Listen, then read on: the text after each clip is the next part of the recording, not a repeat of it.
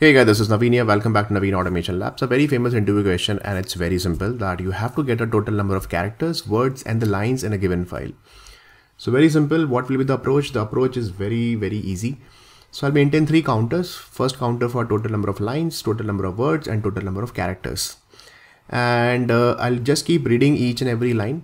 So once uh, I'll read the line, I'll increase the a line counter. So after reading this line plus 1 line plus 2 and line plus 3 like that. So initially line equal to z uh, line counter is equal to 0 so 0 plus 1 plus 2 plus 3 so total number of lines for example 3 is there. How many uh, how will you get the total number of words? So i'll just uh, split on the basis of uh, some space and then i'll that will give you one array and then i'll capture the dot length and then that will give you the uh, word length also. And for character uh, for character point of view I'll just keep splitting it when I get the each and every word. And then in that case again I'll be uh, checking that how many characters are available. So I'll create one simple uh, iteration for each and every word. And then I'll keep capturing the word dot length over here. And then I'll keep adding in my character count. So that will give you the character count over there. Very simple approach. So let's see how to uh, do this. So I'll do one thing. This is my main method. In this particular main method I'll maintain first of all three counter so let's see my first counter that I'm going to maintain. That is for the character count. So I'll say okay this is my total number of character count initially 0 then I'm going to maintain total number of word count again 0 and then I'm going to maintain total number of line count. So let's see these are the line count. This is line count. I'll maintaining initially 0 okay. And then I'll do one thing that I'm going to create. I have to read this particular file. So I have to create the object of buffer reader okay let's see buffer reader. Reader is equal to new a buffered a reader class object that I have created. And this buffer reader first of all that you have to import.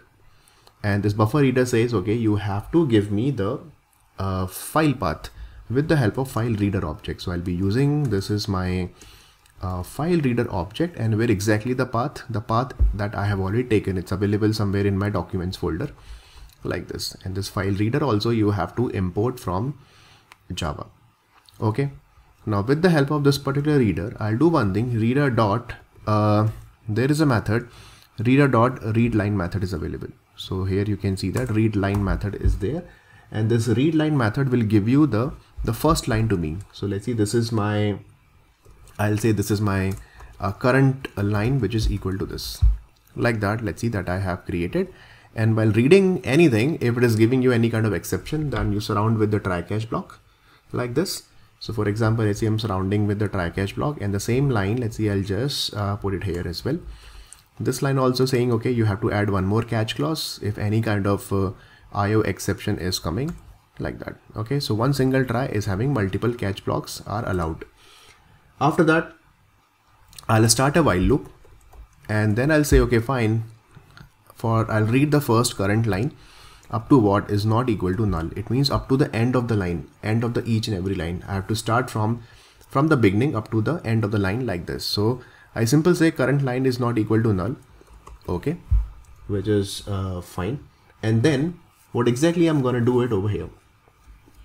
I'll simply say that uh, the moment I got the first line, it, it means I have to increase the line count here. So I'll simply say, okay, fine, line count plus plus. That's it. This is the first thing that I have to do it.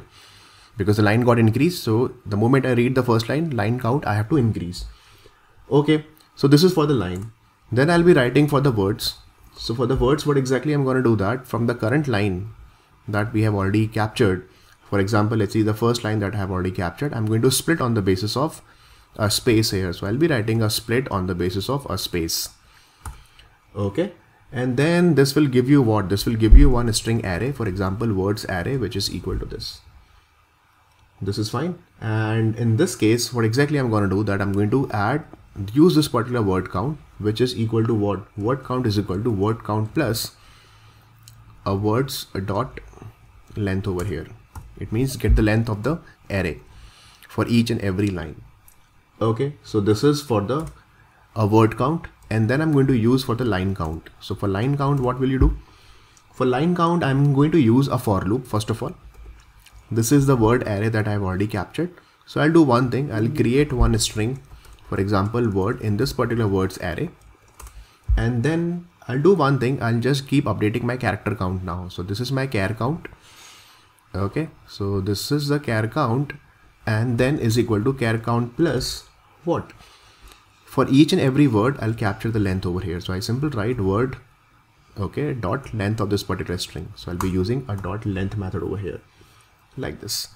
And once this for loop is also done, then I'll do what? I have to go to the next line. So what should I do? I have to update this current line one more time over here like this because this is for the first time.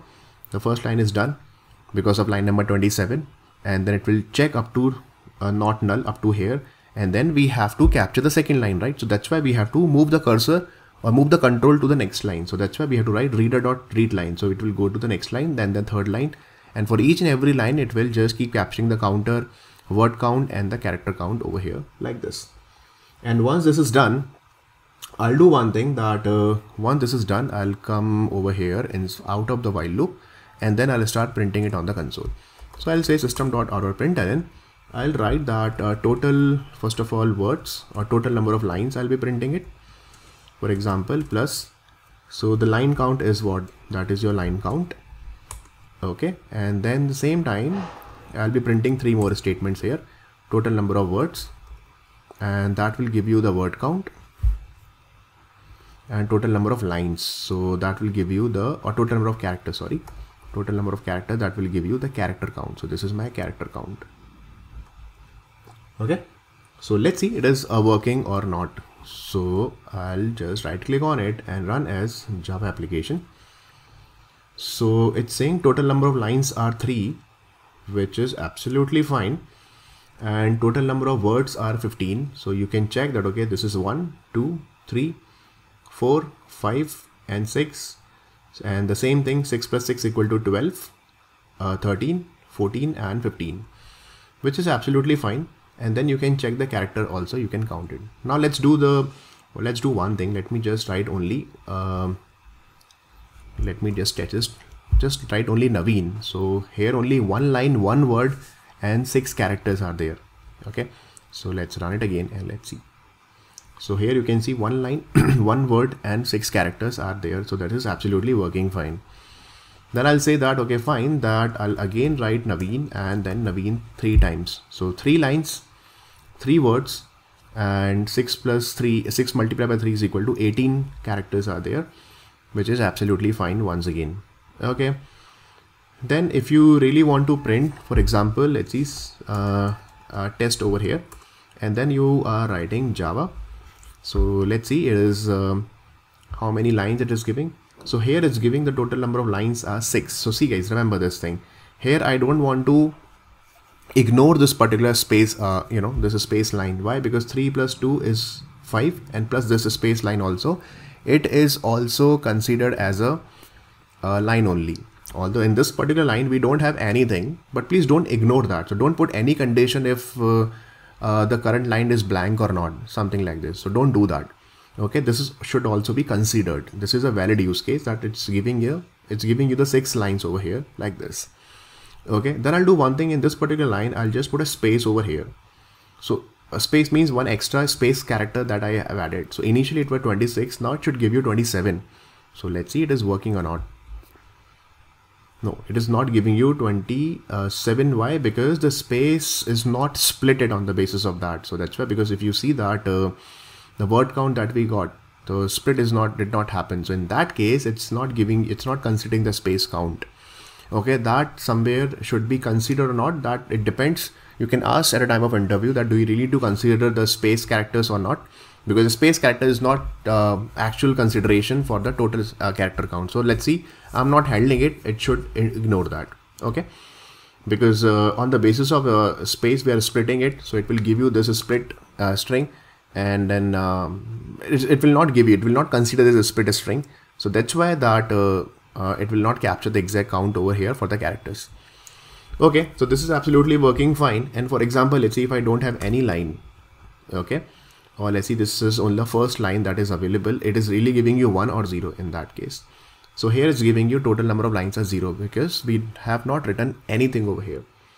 Okay so let's see if I'm writing only one single character and then you run it again and then it's giving you yes you have one line one word and one character. So t will be considered as a single line single word and single character having only one character as a word over here.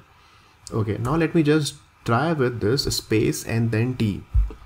Okay so again we have only uh, one word and uh, sorry uh, one line and then one character and then it's considering the two words over here because see there's a space is coming before t. So that is how the split will work. So this will be 0 and this will be 1 so, word count will be 2 in that case. The word length will be 2 in that case. Remember this thing. But see this. If I remove this space and put a space over here then again this entire string will be splitted. So this will become a t only. So this will become 0 and then the first index uh, space index uh, string will be ignored.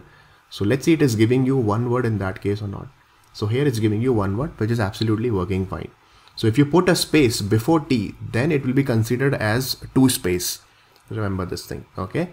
So here actually it is considering we can fix this issue. I think it's a kind of uh, not bug exactly. This is a way Java will work in that case. But uh, when you split on the basis of this, um, okay, so like that, so you can do that. So what you can do is that you can each and every uh, line that you are reading initially this line, what you can do is you can put a trim over here it means remove all the before space and the after space.